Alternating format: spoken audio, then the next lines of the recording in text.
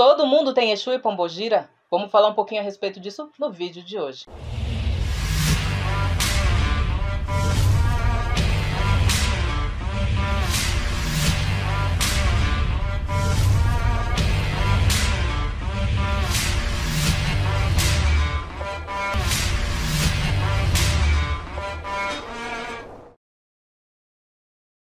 Oi, seja muito bem-vindo. Eu sou Pérola de Manjá, sacerdotisa umbandista. Te convido a curtir e seguir essa página, também a curtir e compartilhar esse vídeo e conhecer o meu curso Tudo sobre Umbanda.com e também transformar a sua vida como milhares de pessoas estão transformando junto comigo. A Umbanda transformou a minha vida e eu quis compartilhar com você esse ensinamento. Mas é claro, esse ensinamento não vai ficar disponível por muito tempo. Então acessa lá tudo sobre Umbanda.com. No vídeo de hoje, vamos falar a respeito dessa dúvida que eu recebi lá pelo Instagram. Se você não me segue nas outras redes sociais, o arroba é tudo Pérola Iemanjá. Vamos falar um pouco disso. Entidades, é, Exu e Pombagira, como eu sempre digo, são entidades de luz. Eles têm é, atributos meio tortos de acordo com a nossa concepção do correto e errado na nossa sociedade. Mas vamos passar por aquela questão. Todos os males vêm para bem. Minha mãe de santo dizia isso. Ela me ensinou isso com grande maestria. Todos os males vêm para bem. Quando a gente fala então de essas entidades do mundo espiritual, elas não pertencem a uma religião. Elas são entidades que estão aí é, como soldados do nosso Criador para ajudar a humanidade a evoluir, porque com a evolução da humanidade eles também ascendem espiritualmente. É claro que eles já estão muito acima de nós no patamar evolutivo, mas ainda assim eles abdicam do tempo deles para dedicar a nossa evolução.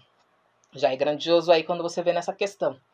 Agora, se a gente for ver, lá na tribo indígena eles chamam Deus de Tupã. Lá nos Estados Unidos eles chamam Deus de God. Lá na, não sei, lá na África chamam de Zambi. Essas entidades são entidades diferentes? Ou é o Deus criador de tudo e de todos? É uma entidade só, com nomes diferentes. Eu só consigo utilizar de referência a igreja evangélica. Lá eles falam que o Espírito Santo se manifesta. E o Espírito Santo quem é? São espíritos, entidades, iguais às que vêm na Umbanda. Já conversei com pastores que disseram: gente, a Umbanda e o Evangelho têm muito a ver uma com a outra, mas a gente coloca nomes diferentes. Então, vai por essa filosofia. As entidades que se manifestam lá, o Espírito Santo, pode ser sim uma entidade que foi um preto velho, que foi um Exu, que foi uma pombageira, que está indo lá para enviar aquela energia nos centros kardecistas, os médicos que incorporam. Já soube muitos casos que aquele médico era um preto velho, ou que aquele outro médico era um Exu, que está ali se manifestando dentro do centro kardecista, mas lá o chamam de doutor fulano de tal. E eles aceitam essa nomenclatura porque a missão é maior, a missão é mais importante.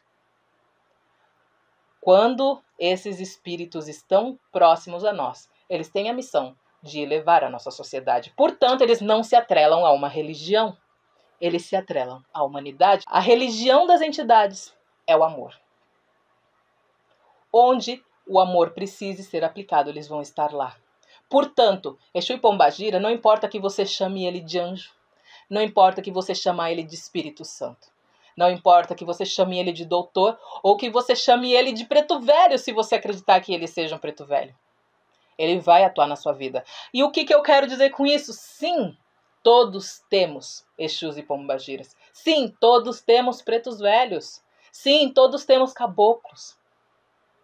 Nós temos uma falange incrível atrás de nós, que veio para nos ajudar nesse processo para fazer com que a gente siga o caminho correto e a gente consiga assim conquistar aquilo que seja necessário, não só para nossa evolução, mas para o grupo, para a massa como um coletivo.